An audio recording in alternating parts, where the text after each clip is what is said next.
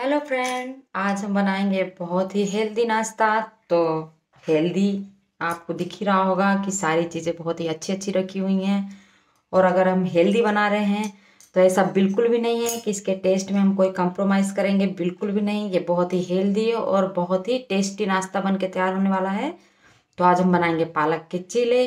और पालक के चीले बनाने के लिए मैंने लिया है ये आधा कप मूंग की दाल है। इसको मैंने भिगो दिया था ये तीन घंटे। भिगो के रखा है तो ये बहुत ही अच्छे से गल गई है। आप ऐसे करके चेक कर सकते हैं, बहुत ही आसानी से कट रही है। तो ये आधा कप मूंग की दाल मैंने गला के रखी थी, तीन घंटे, और ये आधा कप उड़द की दाल है, इसको भी हमने तीन घंटे के लिए गलाया था। और मैंने लिया है ये आधा कप मटर, पालक लिया मैंने ढाई सौ ग्राम, पुदीने की पत्ती ली है मैंने, ये दस बारह पत्तियाँ हैं पुदीने की, एक आंवला काटा है मैंने दो मिर्ची काट के ले ली है और एक इंच का अदरक का टुकड़ा इसको काट के ले लिया। मैंने ये लिया है लहसुन। लहसुन की पत्तियाँ हैं ये और थोड़ी सी ली है मैंने धनिया। तो हम इसको पीस लेंगे। तो ये पालक हम डालेंगे जार में और इसको बिना पानी डाले धीरे धीरे करके पूरा पीस लेंगे। तो हम सारी पालक जार में डाल देते हैं और पीसते हैं। आप पालक को एक साथ मत डालिएगा। नहीं तो पीसेगी नहीं तो आप थोड़ी थोड़ी करके डालते जाएँ और पीसते जाएँ। इस तरह करके पूरी पिस भी जाएगी और आपको पानी की ज़रूरत भी नहीं पड़ेगी। मैंने रख दिया है मिक्सी में जार को और अब हम इसको बहुत बारीक पीस लेंगे। पालक पिस गई है, हमने इसमें पानी नहीं डाला। तो अब हम इसमें डालेंगे, ये मूंग की दाल डाल देंगे।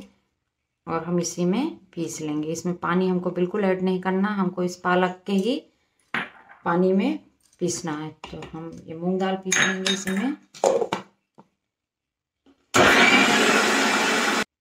मूंग दाल भी इसी में पीस गई है। इसी पानी में हमने पानी बिल्कुल ऐड नहीं किया। अब हम डालेंगे इसमें उड़द दाल और इसको भी हम इसी में पीस लेंगे।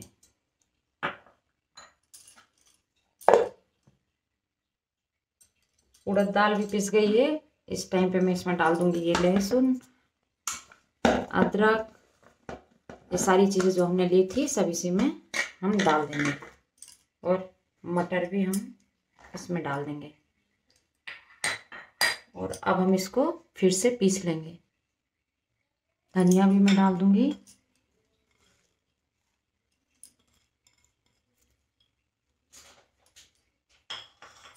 और अब हम इसको बिल्कुल बारीक पीस लेंगे।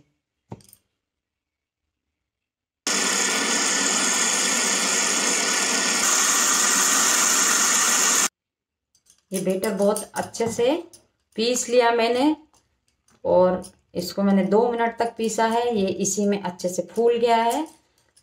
अब हम इसको डाल लेंगे एक बर्तन में।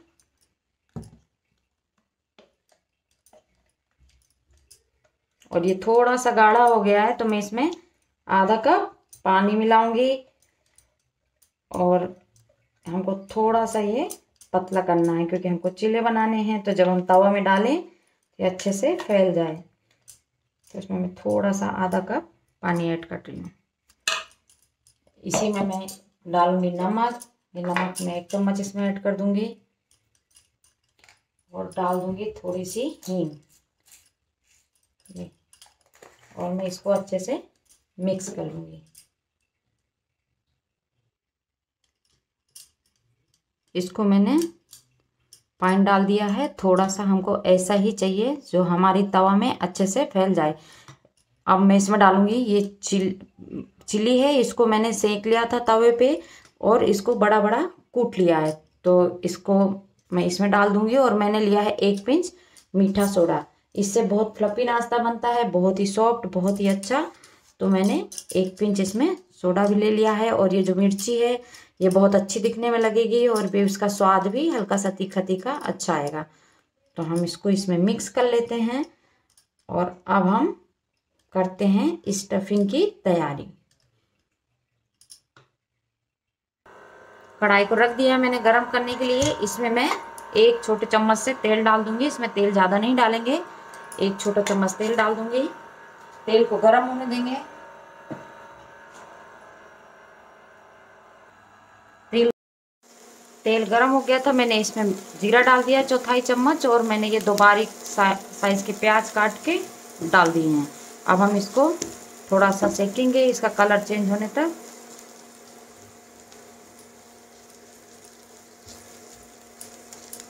इसको ज़्यादा नहीं सेकना है, इसको एक से डेढ़ मिनट तक आप मीडियम आँच पे धीरे धीरे सेक लें। इसका कलर चेंज होते ही फिर हम इसमें डाल देंगे गाजर। प्याज को हमने थोड़ा सा सोटे कर लिया सारी प्याज अलग अलग हो गई है। इस टाइम पे हम इसमें डाल देंगे गाजर। और इसी में डाल देंगे हम एक शिमला मिर्ची। मैंने दो गाजर ली है। गाजर आप ज़्यादा डाल दें। गाजर का टेस्ट बहुत ही अच्छा आता है। तो मैंने इससे दो बड़े साइज़ की गाजर ली है और अब हम इसको हल्का सा एक डेढ़ मिनट तक सेकेंगे। इसको हमको थोड़ा सा सेकना ही है, इसको हमको पकाना नहीं है, ये थोड़ा सा क्रंची रहता है तो अच्छा लगता है। अब हम इसमें डाल देंगे नमक। मैंने इसमें आधा चम्मच नमक डाल दिया। हम इसको थोड़ी देर, एक मिनट तक ऐसे ही सेक लूँगी।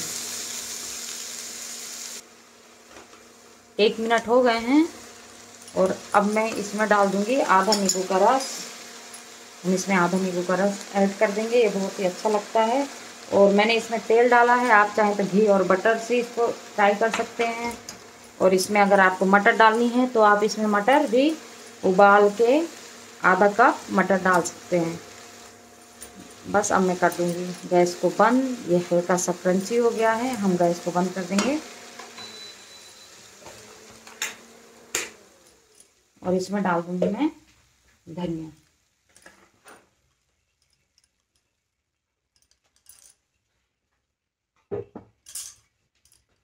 और मैं मिक्स कर दूँगी और इसको रख देंगे। अलग प्लेट में अगर इस कढ़ाई में हम रखेंगे तो इसका पानी छूट जाएगा। हमको पानी नहीं चाहिए इसमें तो हम इसको एक प्लेट में निकाल के अलग रख देंगे। मैं इसको इसी प्लेट में निकाल दूँगी। ये हमारी स्टफिंग तैयार हो गई। ये बहुत ही कलरफुल दिख रही है और ये जो हम नाश्ता बना रहे हैं, बहुत ही अच्छा है। बहुत ही टेस्टी बहुत ही हेल्दी तो ये आप देख सकते हैं कितनी कलरफुल बन के तैयार हुआ है। अब हम इसको ठंडा करने के लिए रख देंगे। हमने पैन रख दिया है। हम गैस को ऑन कर देंगे और पैन को करेंगे गरम। और पैन को मैं अच्छे से ग्रीस कर दूँगी।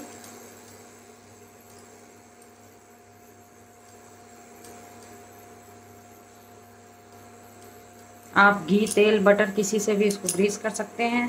पैन को गरम होने देंगे। पैन को मैंने मीडियम फ्लेम में ही रखा है। हम इसमें डाल देंगे ये वाइट तिल ये बहुत हेल्दी भी होता है और अच्छा भी लगता है तो हम इसमें साइड साइड से वाइट तिल डाल देंगे। और इसमें डाल देंगे हम अपना बेटर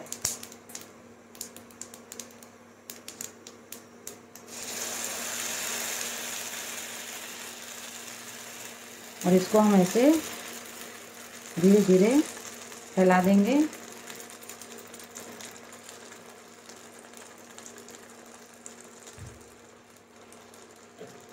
फ्लेम को आप मीडियम ही रखें।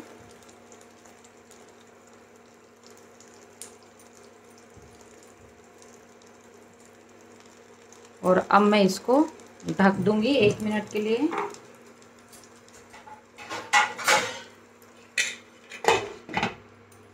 फ्लेम को लो टू मीडियम ही रखना है।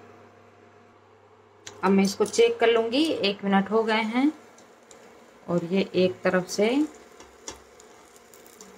उठ रहा है तो मैं इसको आराम से दूसरी तरफ़ भी डाल दूँगी और हम इस तरफ़ से भी इसको एक मिनट तक पका लेंगे।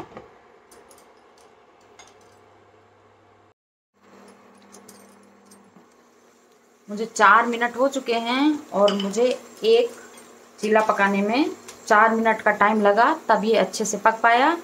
आप इसको अच्छे से उलट पलट के चार से पाँच मिनट लगेंगे मीडियम फ्लेम पे तो आप इसको अच्छे से पका लें और अब हम इसको निकाल लेंगे एक प्लेट में और इसको हम कर देंगे फोल्ड। तो आप भी ऐसे ही इसको फोल्ड कर दें, ये जब ठंडा हो जाएगा तो आप इसको फोल्ड करेंगे तो ये बिल्कुल अच्छा नहीं लगेगा, ये फोल्ड भी नहीं होगा, टूट जाएगा। तो और हमने इसमें जो तिल डाला था तो ठंड का टाइम है तो तिल बहुत ही फ़ायदा करते हैं, इसलिए हमने इसमें तिल डाले थे। और अब हम इसको सारे ऐसे उलट पलट के तैयार कर लेते हैं। अब हमने तीन चीले बना के तैयार कर लिए हैं। ये मैंने तीन चीले बना लिए हैं।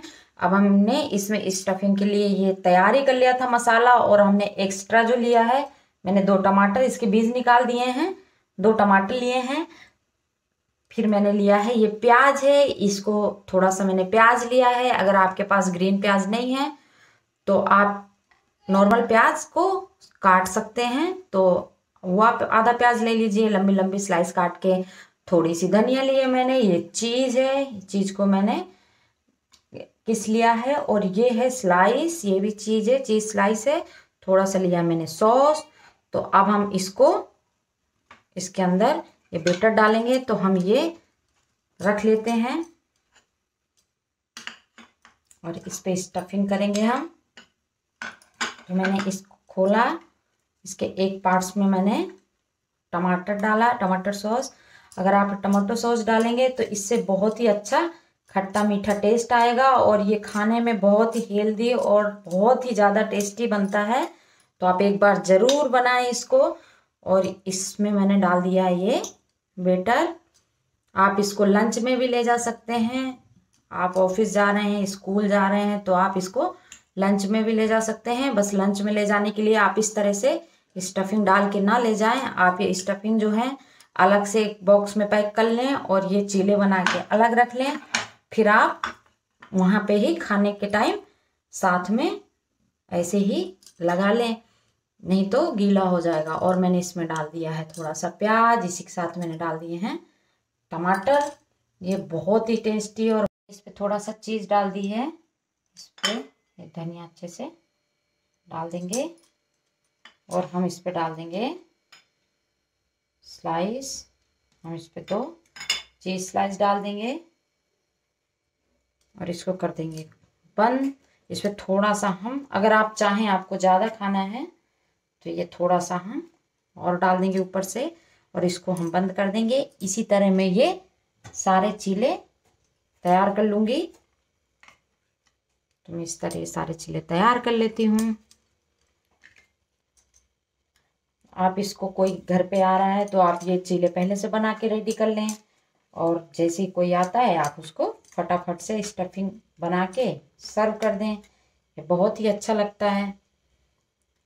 तो मैंने इसमें भी डाल दिया स्टफिंग फिर डाल दिया मैंने थोड़ा सा ग्रीन प्याज, थोड़ी सी धनिया।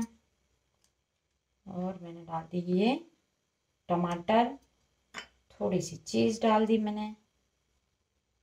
और मैंने इस पर डाल देंगे चीज़ स्लाइस।